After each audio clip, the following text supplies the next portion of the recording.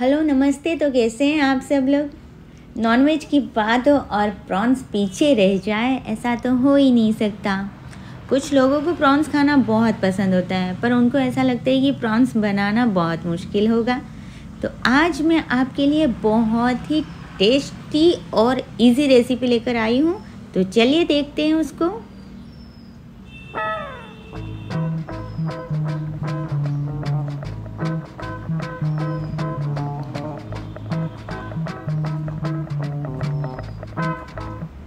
तो ये देखिए, सबसे पहले यहाँ पे मैंने प्रॉन्स को अच्छे से क्लीन करके ले लिए है, जिसका छिलटा निकाल दिया है। और ये देखिए, प्रॉन्स को बीच में से मैंने कट करके इसके अंदर जो भी गंद की थी, वो भी निकाल के इसको दो तीन बार पानी में वॉश करके ले लिया है। तो आपको भी बिल्कुल ऐसे ही प्रॉन्स लेना है ये रेसिपी के लिए। तो इसको हम बनाएँगे गार्लिक में। तो यहाँ पे मैंने बहुत सारा लहसुन छील कर ले लिया है। इसमें हम सिर्फ़ मसाले के लिए लहसुन ही ज़्यादा ऐड करेंगे। तो यहाँ पे मैंने बहुत सारा लहसुन ले लिया और इसको हम एकदम बारीक कूट लेंगे। आप इसको मिक्सर में भी कर सकते हैं बारीक। तो यहाँ पे मैंने एक पैन ले लिया है। उसमें मैं डालूँगी थोड़ा सा ऑयल ताकि हमारा बटर जल ना जाए। तो यहाँ पे देखिए, मैंने ऑयल डालने के बाद बटर डाला है। बटर भी मैंने बहुत सारा ही लिया है इसमें। तो जैसे ही बटर धीरे धीरे पिघलता है तो हम इसको जलाएँगे नहीं। इसको एकदम धीमी आँच पे आप पिघलने दें। बटर जलेगा तो टेस्ट ख़राब हो जाएगा।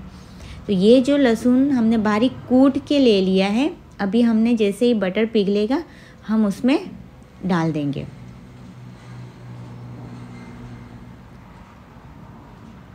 हमें लहसुन को ज़्यादा पकाना नहीं है। हल्का धीमी आँच पे इसको 20 या 30 सेकंड के लिए चला लेना है ताकि इसका कच्चापन निकल जाए और बटर के साथ इसका एक स्ट्रॉन्ग फ्लेवर आ जाए। तो ये देखिए यहाँ पे बटर के साथ लहसुन मिक्स हो गया है। अभी मैं इसमें दो तीन हरी मिर्ची डालूँगी कट करके। तो ये बारीक मैंने काट ली है हरी मिर्च। तो इसको भी हमने साथ में मिक्स कर लिया है। तो ये हमारा लहसुन का कच्चापन निकल चुका है तो अभी हम इसमें प्रॉन्स को मिला देते हैं। तो ये देखिए, हमने यहाँ पे प्रॉन्स को ऐड कर लिया है।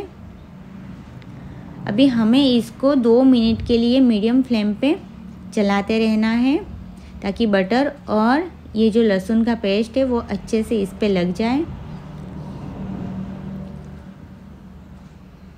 तो ये देखिए, यहाँ पे हमने इसको अच्छे से मिला लिया है।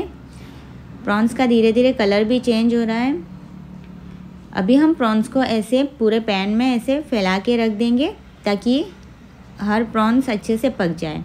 तो इसको हम ढक के पाँच मिनट के लिए धीमे से मीडियम आँच पे रख देंगे। तो आप देख सकते हैं प्रॉन्स में ना पानी बहुत छूटता है। इसमें हमने पानी बिल्कुल नहीं ऐड किया है, फिर भी ये देखिए इसमें पानी कितना छूटा है। और इसका कलर भी देखिए कैसे मस्त चेंज हो गया है।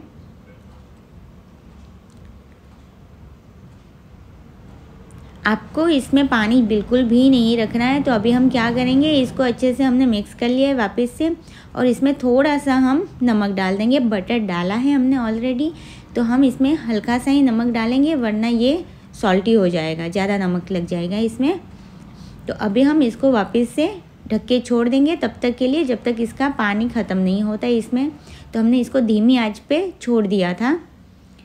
तो ये देखिए, इसका पानी ख़त्म ही हो चुका है। अभी हम इसको वापस से मिला लेते हैं। तो जितने हमें अभी फ़िलहाल के लिए जितना ड्राई चाहिए, उतना प्रॉन्स ये ड्राई हो चुका है। तो अभी हम इसको वापस से हल्का हल्का सा मिक्स कर लेंगे और इस पर मसाला डाल लेते हैं।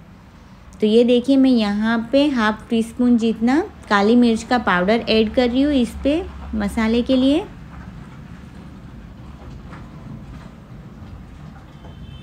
तो ये मैंने काली मिर्च का पाउडर हल्का सा ऐड कर दिया है ऊपर से और यहाँ पे मैं डाल रही हूँ चिली फ्लेक तो यहाँ पे हम मिर्ची पाउडर का यूज़ नहीं करें। अगर आपके पास चिली फ्लेक नहीं है तो आप यूज़ कर सकते हैं, पर चिली फ्लेक डालोगे तो इसका कलर और टेस्ट बहुत अच्छा आएगा।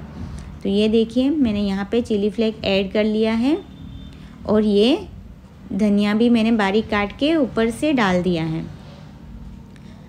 और अभी हम इसको वापस से मिक्स करेंगे। हम सिर्फ़ मसाले के लिए बहुत कम चीज़ें यहाँ पे यूज़ कर रहे हैं। पर आप यकीन मानिए, इस तरीके से आप बना के खाएँगे ना तो आपको प्रॉन्स इतना पसंद आएगा ना कि आप ना कमेंट बॉक्स में आके मुझे बोलेंगे कि थैंक यू आपने ये वाली रेसिपी हमारे साथ शेयर करी। तो चलिए फिर आपको मैं इतनी अच्छी रेसिपी दे रही हूँ तो आपको मेरी चैनल को सब्सक्राइब करके जाना पड़ेगा। और अगर आपको रेसिपी अच्छी लगे तो आप कमेंट भी कर देना। तो ये देखिए, जब तक ड्राई होता है, तब तक हम इसको चलाते रहेंगे। पैन में एकदम धीमी आँच पे ही। तो ये लगभग हमारा प्रॉन्स रेडी हो चुका है। तो चलिए फिर हम इसको प्लेट में भी निकाल लेते हैं। तो आप ये रेसिपी बना के बिल्कुल ट्राई करना। और मिलते हैं नेक्स्ट